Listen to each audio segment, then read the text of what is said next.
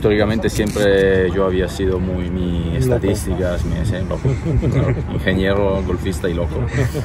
Y al final de 2019, 2019 algunos jugadores eh, me preguntaron si podía ayudar porque había una, una, una hacienda, una compañía en el tour que lo hacía, pero no era muy contento y sobre todo pagaban mucho dinero. entonces cuando me contaron cuánto pagaban y el servicio que daba, digo, bueno, voy, voy en business.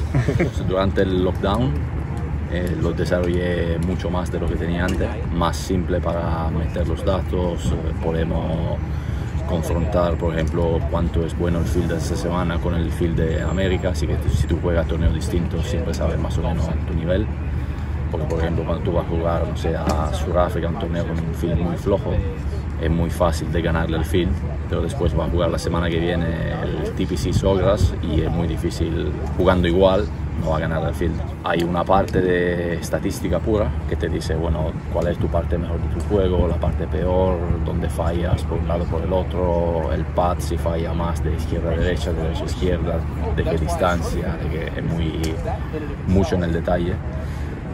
Y después hay una otra parte que todavía estamos desarrollando, que es más de estrategia, de cómo jugar el campo, de cómo jugar algunas banderas y, todo eso. Y la verdad que a los jugadores claramente les gusta mucho y sobre todo le gusta mucho a los caddies, a, todo el equipo que trabaja con el jugador, porque tú imagínate cualquier coach que trabaja en el tour ve su jugador jugar como mucho 9 hoyos, entre 9 y 18 hoyos por semana cuando está ahí y a veces está en casa y no ve cero. Y con esto puede mirar golpe a golpe, la tendencia de palo corto, palo largo, del tee, drive, madera 3, si falla más por un lado por el otro. Empecé y era yo solo y dice, bueno, llego hasta 10 jugadores y después ya está, sí llego. Y llegamos a 10, llegué a 10 jugadores después de, empecé con Fitzpatrick en junio 2020, después de la pandemia y cuando el tour empezó en julio 2020 aquí en Europa ya tenía 10 en un mes y entonces ahí em, empecé a trabajar con otra persona que me ayudó un poco al principio y ahora estamos cuatro personas total porque claro, 20. y el informe como te decía es una parte de que te dice simplemente mira el último mes eh, no sé por, este, este mes normalmente como todo el mundo cambia palos te dice mira el drive nuevo a comparación del drive viejo es mejor, peor, igual. Tiene más tendencia a fallar por la derecha o por la izquierda, con la madera 3 igual, con los hierro y todo. Y después empezamos a decirte, mira, si hay como, por ejemplo, no sé, hay jugadores que con el drive fallan mucho por un lado y con la madera 3 fallan mucho por el otro, entonces, claro, si con el drive falla mucho por la derecha y hay un hoyo donde hay peligro a la derecha y nada por la izquierda, ahí puede considerar madera 3 y, o al revés. O a veces hay jugadores que pegan, tienen la misma dispersión con drive madera 3, el caso de Fitzy por ejemplo, y entonces dice ya, bueno, o sí o sí pega el drive, porque igual va a 30 metros más largo y tiene la misma dispersión, no tiene ningún sentido pegar madera 3, salvo que hay un bunker que cruza la calle, pero si no, cosa de esta.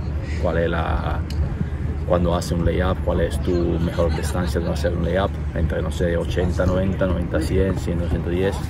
Y estas son cosas que al final si te salvan, si te guardan, ahorran un golpe en la semana, por el jugador es muchísimo, muchísimo. Pasa mucho. Bueno, pasó a mí primero, porque yo hace tres años más o menos había un periodo que venía pateando muy mal y pensaba que me parecía que fallaba todo por la derecha. Y fui dos veces a tomar una clase con Phil Kenyon y él me dice, mira, a mí me parece que tú fallas todo por la izquierda. Y le digo, Phil, no había mirado la estadística por los últimos dos meses. Y le digo, Phil, te juro que en el campo falla todo por la derecha. O sea, 100%. Pero ¿estás seguro? sí, sí. Y abrimos la estadística, miramos y con de izquierda a derecha, recto o derecha a izquierda, o sea, cualquier caída, bajada, subida de cualquier distancia, fallaba tres veces más a la izquierda que a la derecha. Es increíble. Y digo, pero no. Y me metí a pensar, digo, pero. Ah, sí, por ahí así Lee falla a la izquierda, pero no era mal pad, sí, ahí a la izquierda, pero no era tan mal. O ahí a la derecha, pero después a la izquierda. Y al final fallaba más a la izquierda, pero claro, de jugador muchas veces te, te, crea un poco de historia o te, hay un golpe que te afecta mucho y tú piensas que ah, este golpe, este golpe y al final hay otros jugadores que te dicen ah, yo soy muy muy bueno con los wedge y con los wedge a veces pierden medio golpe al día al field. Y no, con el drive más o menos pero pego mucha madera 3 y al final el drive es mucho mejor que la madera 3 o, o sea pasa cualquier ¿eh? cosa a mi hermano lo hago gratis. No puedo. No te queda no puedo cobrar.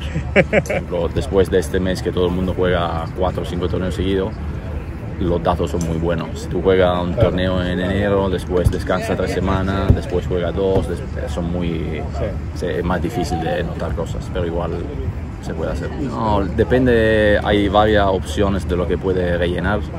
O sea, algunos jugadores, por ejemplo, en el pad meten no solo izquierda, derecha, derecha, izquierda, pero también la cantidad de caídas, o sea, poca, media, mucha o con aim point, con números.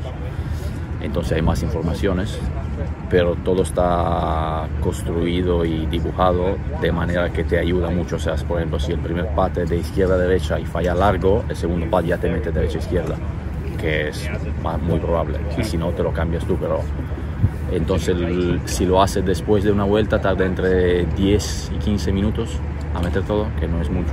Todavía no. Tenemos, vais a tener? Probablemente algún día sí. De momento tenemos mucho trabajo con, con los pros y todo, así que sí, todavía también hasta cuando juego no tengo muchísimo tiempo para, para hacerlo. Pero en un plan futuro seguramente va a salir algo de... Sí, pues estaremos muy pendientes.